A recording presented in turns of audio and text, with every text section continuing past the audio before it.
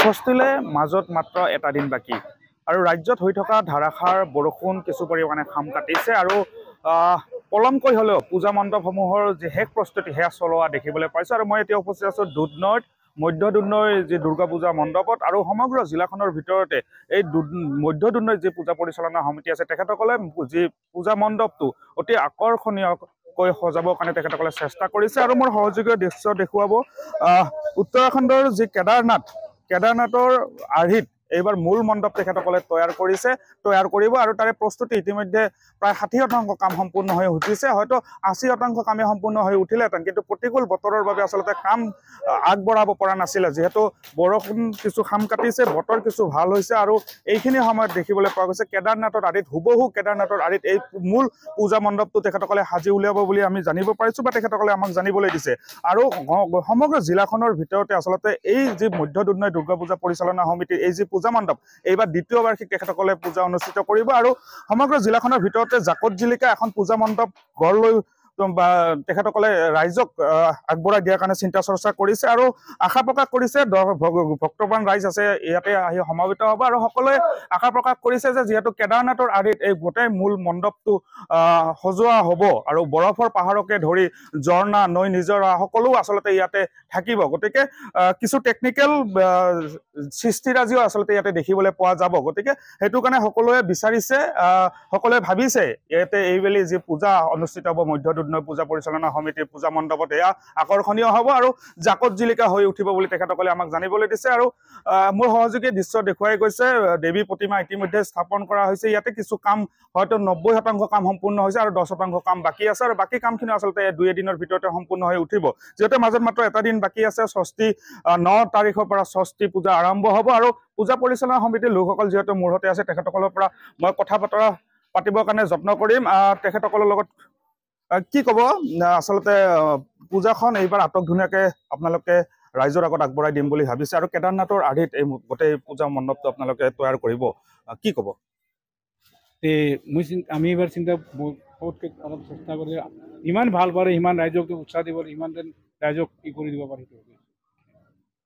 Budget কেনেকুৱা ধৰণৰ হৈছে যিহেতু যথেষ্ট আকৰ্ষণীয় হ'ব পূজা মণ্ডপটো। মোটামুটি আমাৰ চাৰে ছয় সাত মানৰ বাজেট আছে মোটামুটি এইটো কমপ্লিট আমাৰ মিলি। নিশ্চয়কৈ। আৰু পূজা পৰিচালনা সমিতিৰ সভাপতি গৰাকী- যিহেতু আমাৰ সৈতে আছে তেখেতৰ পৰাও জানিব বিচাৰিম। এইফালে আহিলে অলপ সুবিধা হ'ব। কি ক'ব কেদাৰনাথৰ আৰ্হিত মূল মণ্ডপটো প্ৰস্তুত কৰা হৈছে যথেষ্ট আকৰ্ষণীয় হ'ব বুলি আপোনালোকে আশা প্ৰকাশ কৰিছে আৰু আমাৰ আগত ব্যক্ত কৰিছে। প্ৰতিকূল বতৰ কিছু বৰষুণ খাম কাটিছে।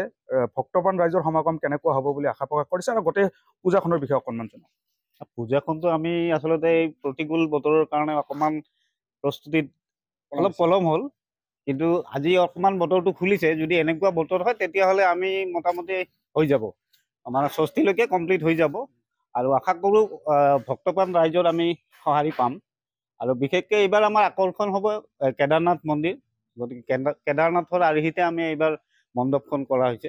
আৰু আমাৰ ষ্টেজটো বেলেগ ছাইডত কৰা হৈছে। সম্পূৰ্ণ গোটেই জিলাখনৰ কথা যদি কওঁ একমাত্ৰ এইখনে পূজা মণ্ডপ য'ত আপোনালোকে কেদাৰনাথৰ আৰ্হিত এই মণ্ডপ মণ্ডপটো প্ৰস্তুত কৰিব।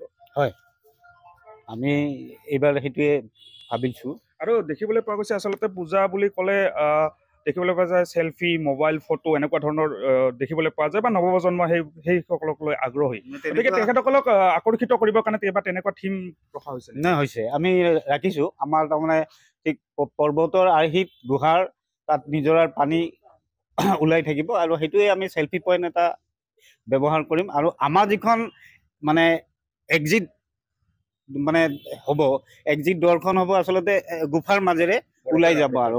বৰফেৰে। মানে শিল থাকিব বৰফ থাকিব। ঠিক তেনেকুৱা ধৰণৰ আমি এটা আৰ্হিৰে চিন্তা চৰ্চা কৰা হৈছে।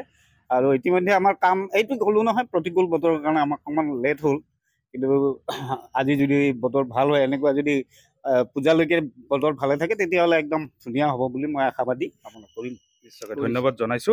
আৰু যদিও বা এই আহ, মধ্য দুধনৈ পূজা পৰিচালনা সমিতিৰ দ্বিতীয় বাৰ্ষিক এই পূজা অনুষ্ঠিত কৰিব। কিন্তু দেখিবলৈ পোৱা গৈছিলে প্ৰথম বাৰ্ষিকৰ পৰাই সমগ্ৰ জিলাখনৰ ভিতৰতে আচলতে সকলো ভক্তবান ৰাইজৰ দৃষ্টি আকৰ্ষণ কৰিব আকৰ্ষণ কৰিবলৈ সক্ষম হৈছিলে দুধনৈ পূজা পৰিচালনা সমিতিয়ে। কাৰণ পৃথক পৃথক থিম তেখেতসকলে হাতত লয় আৰু সেই থিম চাবৰ কাৰণে সেই পূজা মণ্ডপ চাবৰ কাৰণে জিলাখনৰ লগতে কামৰূপৰ পৰা বহু সংখ্যক ভক্তবান ৰাইজ আহি ইয়াতে ভিৰ কৰা দেখিবলৈ পোৱা যায়। আৰু এইবেলিও তেখেতসকলে আশা প্ৰকাশ কৰিছে যিহেতু কেদাৰনাথ মন্দিৰৰ মূল আৰ্হিত এই মণ্ডপটো সজাই পৰাই তোলা হ'ব। আৰু তাৰ কাম ইতিমধ্যে মই উল্লেখ কৰিছোঁ যে প্ৰায় পঞ্চাছ বা ষাঠি শতাংশ কাম সম্পূৰ্ণ হৈ উঠিছে। হয়তো দুই এদিনৰ ভিতৰতে সম্পূৰ্ণ কাম শেষ হ'ব। আৰু তেখেতসকলে বিচাৰিছে ভক্তবান ৰাইজৰ সহায় সহযোগিতা বিচাৰিছে যিহেতু বতৰ ভাল হৈছে। মই বাৰম্বাৰ এটা কথাই কৈছিলোঁ কাৰণ বতৰৰ কাৰণে সকলোৱে ভাবি আছিলে যে পূজা এইবাৰ কেনেকুৱা হ'ব। পূজাত যি আনন্দ ফূৰ্তি সেয়া ম্লান পৰিব নেকি বুলি ভাবিছিলে কিন্তু বতৰ ভাল হৈছে আকাশ ফৰকাল হৈ আহিছে। গতিকে এতিয়া নিশ্চয়কৈ সকলোৱে আশা প্ৰকাশ কৰিছে যে পূজাটো ভালদৰে যাব আৰু পূজা পৰিচালনা সমিতিসমূহো আচলতে